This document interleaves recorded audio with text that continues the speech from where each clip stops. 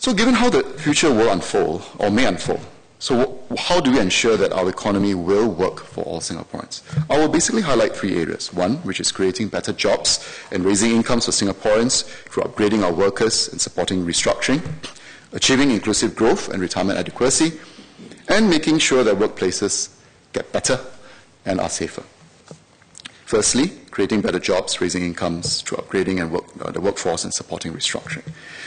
We all know that raising productivity is central to our efforts to create better jobs for Singaporeans. For businesses, it, it means this. You, we need to take a long, hard look at the business models and processes to see how they can produce higher value goods and services and reduce their overall reliance on manpower. The government is fully committed to providing Singaporeans with the fullest support possible to improve their skills through CET. This is a cutting edge, and we will support that.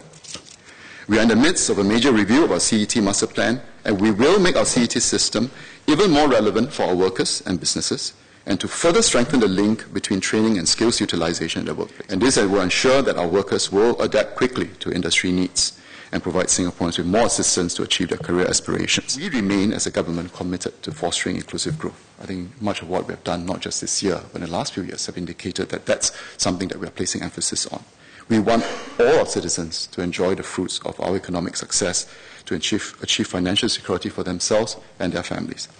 Work is the best form of financial security. Our strategy at the broadest level is to keep unemployment low by keeping the economy healthy and thriving so that jobs can be created. At the same time, maintain a tight labor market and encouraging more to work. With increasing life expectancy, many Singaporeans are able and want to work until they are older. As announced in Budget 2014, we'll be increasing the CPF employer contribution rates to the Medisave account for all workers.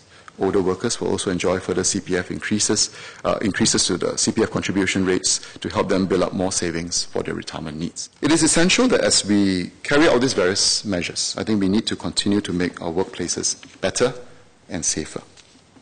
We will redouble our efforts to entrench the safety mindset and culture in the workplace. In 2013, we had 59 workplace fatalities. That's a slight increase up from 2012, which is 56.